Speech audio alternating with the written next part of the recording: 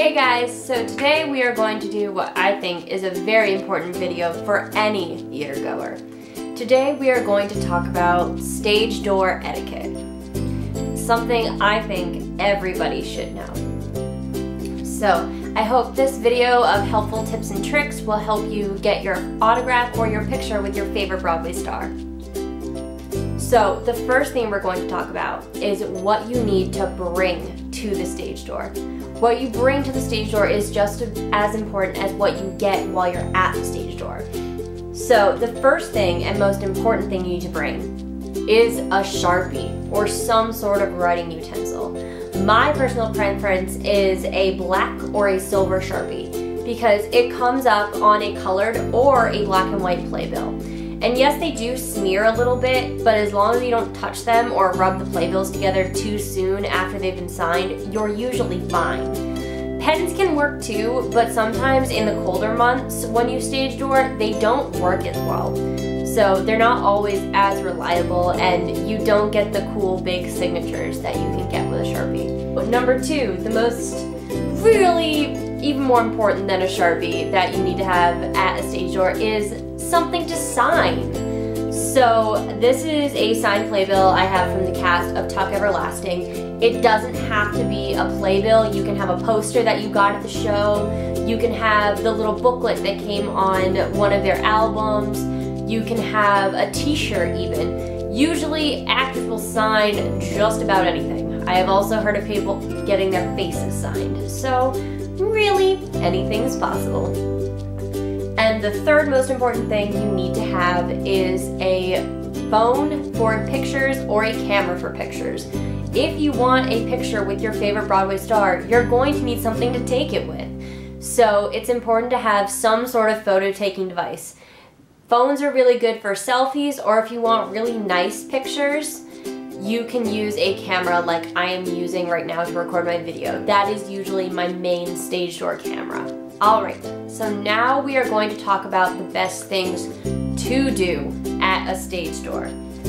So, you always want to get a spot by the barricade. Usually at stage doors, I've only been to one where they didn't have fencing. So usually at stage doors, they will put out metal barricades to separate the actors from the audience members at the stage door. So you want to get as close to that barricade as possible. Basically, you want to be hugging that barricade because the closer you are to the barricade, the more likely you are to have your items signed. If you are three people deep, then most likely they're not going to be able to get to you, which stinks, but that's usually how it works. So in order to get to the barricade, there are many options you can either go to the stage door on a different day.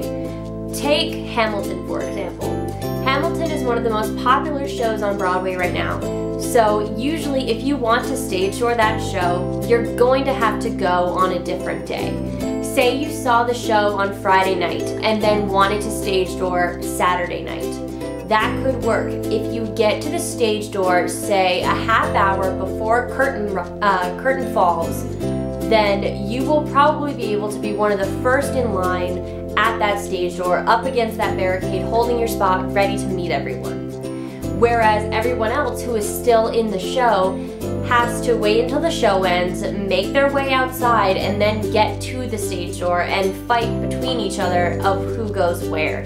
Whereas you already have your spot. So, unpopular shows versus popular shows for stage door.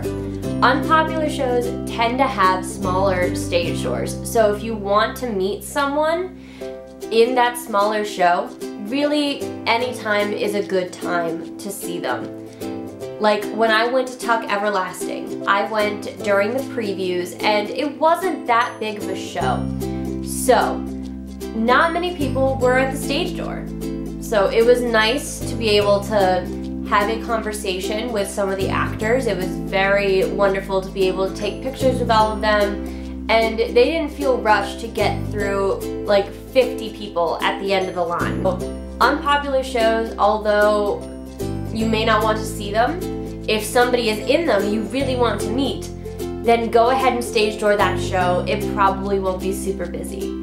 But popular shows, as stated before, you may want to go on a day you didn't see the show, so you are guaranteed a front spot in that at that barricade.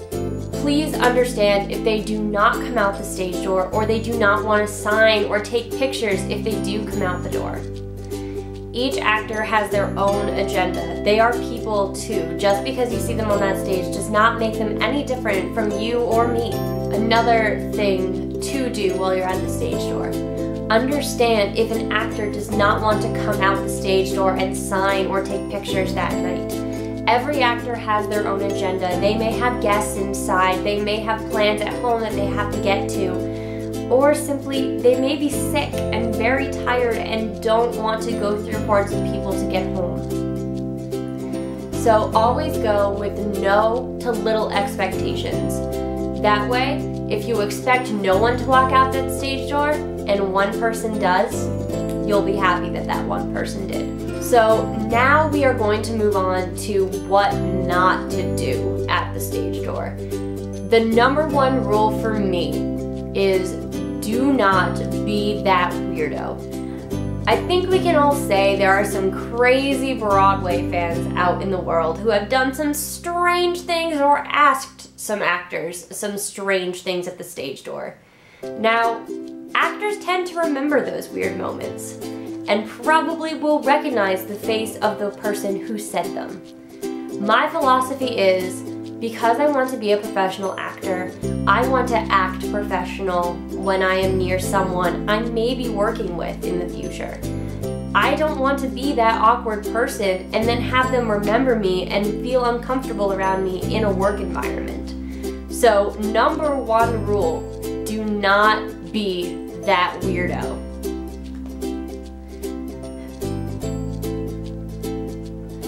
Also, do not take up their time.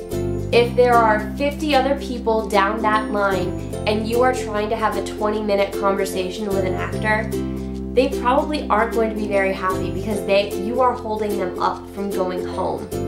So save the conversations for Twitter, Facebook, or even a fan letter. Another very good rule for stage door.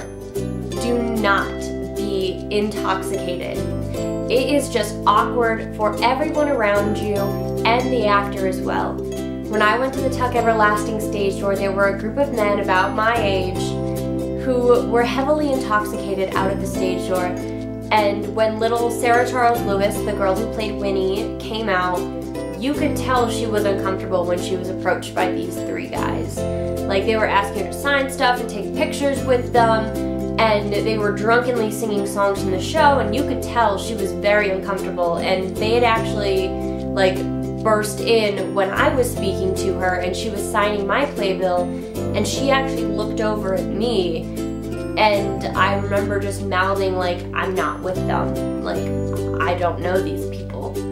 And I felt very bad for her because you could tell it was an awkward situation. So save yourself the embarrassment and save the act actor the awkwardness.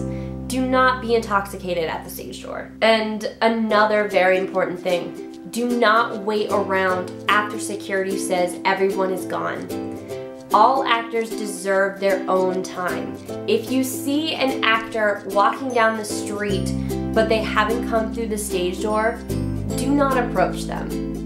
And do not ask for an autograph or a picture outside of the stage door after their show.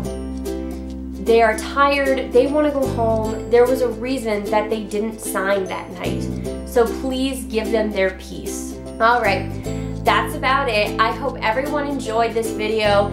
Comment down below some of your stage door tips and maybe if I get enough, I'll make another video links down below to my Instagram and Snapchat. Please follow me on those. If you like this video, give it a big thumbs up and hit subscribe down below.